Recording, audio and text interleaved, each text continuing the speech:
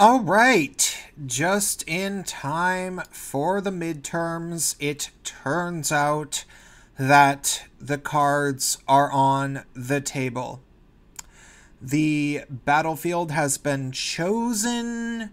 The troops are enlisted, or apparently they aren't. Um, but the social justice people, I believe, have declared their hill to potentially die on or potentially win. And as of November 1st, it is on. They this is going to be their last hurrah and they want to take back the House and the Senate in the midterms and this is how they, they think that they're going to do it. Um I'll get to that in a second, but make sure to check out Gaytriarchy tonight, 8 p.m. Pacific Standard Time. I'm not entirely sure which channel it's going to be on. It might end up being on my channel, or it might end up going on the Liberal Hammers channel. I maybe one of the other guys, but I haven't heard back from any of them. Um, we're going to have Gig Gigtao Berserker on. He is that Swedish guy who lives in Sweden, and he's pretty cute. Actually, I'm not sure if he's going to show his face, but yeah. Okay, so this thing that's happening is kind of terrifying. I, I gotta be honest, like, it, it is terrifying that they have managed to pull this together. So, yesterday I heard about this kind of crazy thing that I thought was just confined to Google, um, where there was this worker walkout thing where all these people decided to walk out of Google and demand all of this typical SJW talking points, you know, diversity, equ- equity, hiring, and, and that kind of a thing, which seemed really absurd. And my thought at the time was, okay, hashtag get woke, go broke. I mean, if it's Google doing this, everybody's sick of Google anyway, people can go elsewhere. Well, I, I was kind of underestimating just how big this actually is. And it turns out that dozens of major companies just warned Trump not to mess with transgender rights. And it's 56 corporations joined a statement. And I want to read this statement because it, it, this statement is so obviously written by a small group of these diversity officers that must be holding all these places hostage because it's not super well written you know like it, it doesn't have any sort of legal wording in it. it it doesn't make any specific mention of what they exactly have a problem with it's all it's all emotional rhetoric and everything but they got a massive amount of companies and serious companies to sign up for this. And so that's what's scary about it. Like somehow I mean, maybe this is a little bit more bark than it is bite. Like maybe the companies felt inclined to sign here and everything. Like I don't I don't know. But um it's so strange. So we the undersigned businesses stand with the millions of people in America who identify as transgender, gender non binary, or intersex, and call for all such people to be treated with the respect and dignity everyone deserves. Okay, um, stand with the millions of people that's already weird. Like they're trying to say that uh, that that that there's millions of these people. That's quite debatable, first of all. And then stand with like uh, okay so that means you're their ally which means that they're you're you're their um army army usually. Uh you, you follow their orders usually if, if if that's what you're saying. Okay but i'm gonna move on we oppose any administrative and legislative efforts to erase transgender protections through reinterpretations of existing laws and regulations. That is the thing that is really, um, I hate to say it, problematic, but uh, technically it is actually problematic because when they say we oppose any administrative and legislative efforts to erase transgender protectives protections through reinterpretations of existing laws and regulations, the thing is is that they're framing that as if Trump is trying to change Title IX. The only thing that Trump is potentially trying to change is the way that Obama reinterpreted Title IX. That's a problem. Title IX only applies to the school system and it applies to biological sex and biological sex only. That is what the law is. You can go ahead and read it. It says, you know, if, if you're going to violate Title IX, it means you violated somebody's rights based on their sex. That's what Title IX is. Well, Obama was the one that went around and changed it. He reinterpreted the law to make it about gender. And that's why it became this thing where they could get mad at people with Title IX from the federal government if people were being, you know, uh, what's the word? When they use their incorrect pronouns. I don't even remember the term for it anymore because I hate dealing with these people, and I, I used to talk to them a lot. Um, the um, mispronounced is that the word? misgendered that's it misgendered like people could get in, t- in trouble for misgendering somebody on university campuses on a federal level even though title ix only applied to sex so the Trump administration is just saying, hey, we're not going to do that anymore because that's not what the law actually is, and that was being abused. And so, if they're saying we oppose any administrative and legislative efforts to erase transgender protections through reinterpretations of existing laws and regulations. Well, I hate to inform you, but there wasn't any, period, because you can't change your biological sex. It's just literally, literally impossible. Now, should there be protections in place for transgender people under some sort of federal thing?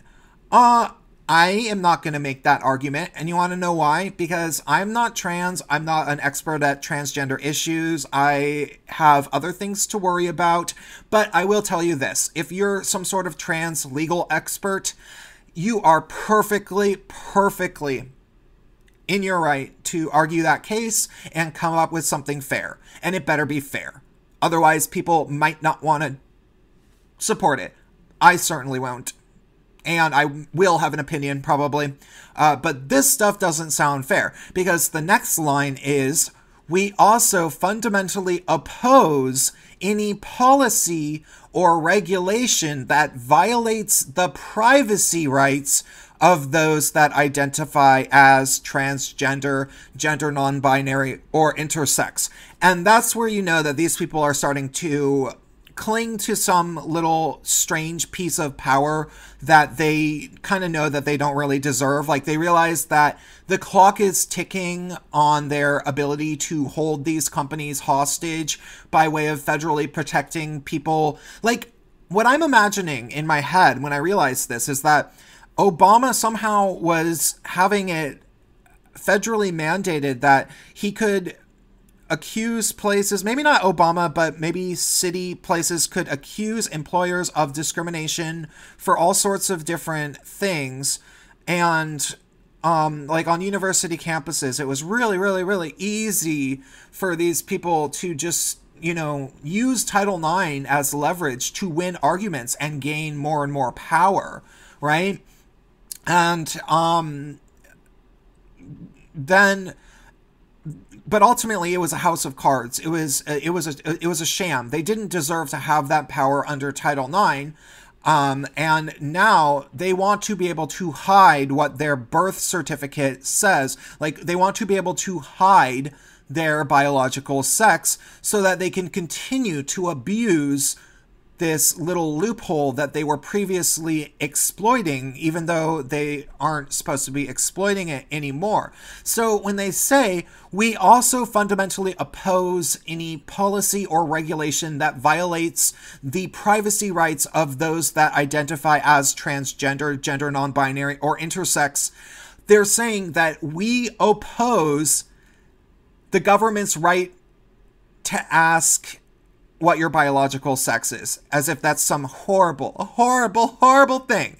And uh, it's not. It's really, really not. You know, like trans people, they. Uh, I remember a time when trans people actually did have a thick skin.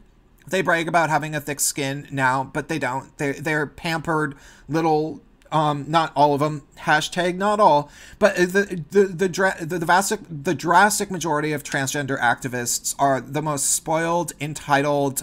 They they they act like a social aristocracy they you know and that's why the transgender phenomenon came into being young immature people saw how much power these people had over everybody so they decided they wanted a little slice of the pie like you know oh i'm trans which means you have to do what I say, and you better not misgender me, and you better not. Meh, meh, meh, meh, They, they did act like that. It's not like this imagined scenario that Jordan Peterson was making up in his head when he talked about that potentially happening in Canada. No, that was the reality of anywhere that you were, that these people were common. They were social tyrants, and they were often enabled by the authorities, and then it created an actual trend of people wanting those privileges for themselves. And it got to the point where it was like, okay, so if you're trans, huh, that's interesting. You don't even look trans. You don't seem trans. You look just like a girl. You didn't even get a haircut. Um, you're telling me you're not a woman? And, and she'd be like, I'm telling you I'm non binary. I'd be like, okay, but so were you born as a male? Is that? And, and be like, you don't have a right to know. And it's like, these people just want these weird rights where they get to get mad at you anytime they want and order you around. And then you don't have even the courtesy of them being obligated to explain why, like how and why that works. Right? And that's where it got so irritating. And, and they are saying that they want to hold on to that right. So, I'm going to continue with this memo. In the last two decades, dozens of federal courts have affirmed the rights and identities of transgender people. Cognizant of growing medical and scientific consensus, courts have recognized that policies that force people into a binary gender definition determined by birth and autonomy fail to reflect the, the complex realities of gender identity and human biology and this is how you know that this was written by a wacky SJW um, HR board and not any sort of legal anything. You know, like it's just that sounds so silly. Okay, uh, recognizing that diversity and inclusion are good for business. Sorry, I'm, I'm just going to read that again. Recognizing that diversity and inclusion are good for business. Okay, um, Okay, well, we'll we'll, we'll just keep reading for for the sake of recognizing that diversity and inclusion are good for business and that discrimination imposes enormous productivity costs and exerts undue burdens. It's so funny. Like they're saying the exact opposite of what is true. And every you know, everybody knows get woke, go broke. And they're having to like say this and and say it multiple times as if it's like just saying it enough times is going to make everybody believe it. Uh, they say recognizing that diversity and inclusion are good for business and that discrimination imposes enormous productivity costs and exerts undue burdens. Oh, because you're a little crazy transgender pronoun discrimination HR board doesn't. Hundreds of companies, including the undersigned, have continued to expand inclusion for transgender people across corporate America. Currently, more than 80% of the Fortune 500 have clear gender identity protections. Two thirds have transgender inclusive healthcare coverage. Hundreds have LGBTQ plus and allies business resource groups, and internal training efforts. Transgender people are our beloved family members and friends and our valued team members. What harms transgender people harms our companies. Yeah, we heard you. We call for respect and transparency in policy making and for equality under the law for transgender people, except for equality under the law for transgender people, violates what you are asking for. That's why they're, oh, that's getting me a little fired up, getting me a little bit fired up, getting me just a little, just a little. That's uh, and that's how you know a lawyer did not write this at all. And I feel like I sound a little bit like Ben Shapiro at the moment. I like I'm, I'm channeling Ben Shapiro, and I, I don't even really I'm not even really a fan. Like I don't really sit around watching Ben Shapiro. I don't talk as fast as him. I talk even less nasal than him, which is weird because I, I, have a pretty nasal voice. Um, but I feel like sitting ar- around and, and, and being like him at the moment. Like that's that's just how I feel at the moment. So the companies are um, Accenture, which I don't know, but Adobe, Airbnb, Altria Group, um, Amalgamated Bank, Amazon, American Airlines, Apple, automated dead automatic data processing, Bank of America Merrill Lynch, Ben and Jerry's, BNY Mellon, Cargill, Cisco Systems, Citi, I imagine that's Citibank, Clifford Chance, Corning Incorporated, Corteva AgriScience, the agriculture division of Dow DuPont, damn, um, Dutch Bank, EI DuPont de Nemours and Company, Facebook, Fastly Inc., Google, surprise, surprise, Hogan Lovells International LLP, H- HSBC, IBM, Intel, Intuit, Iron Mountain, JP Morgan and Chase, Levi's, LinkedIn, Lush Handmade Cosmetics, Lyft, Marriott, International, Mass Mutual, MGM Resorts International, Microsoft, Nike, Pepsi, Replacements Ltd, Ropes and Gray, Royal Bank of Canada, S&P Global, Salesforce, Sheppard Mullin, Sodexo Inc., Splunk, State Street Corporation, the Coca-Cola Company, the Dow Chemical Company, TiVo Corporation, Trillium Asset Management, Twitter, Uber, Warby Parking. So, obviously, do I need to say uh, try to boycott those companies as best you can? I don't know. Uh, I, I, you know, I'm, I have to say, selfishly, I kind of like going to Whole Foods because I really like the salad bar and their desserts. So I'm I'm glad that Whole Foods isn't on that list. And I just have to wonder, like, how how did they actually get these companies to sign off on that? Like, what? Like, there's it's some I'm something is fishy in these waters. Something is uh, um, I smell a little bit of BS in the barn. I don't know. All right.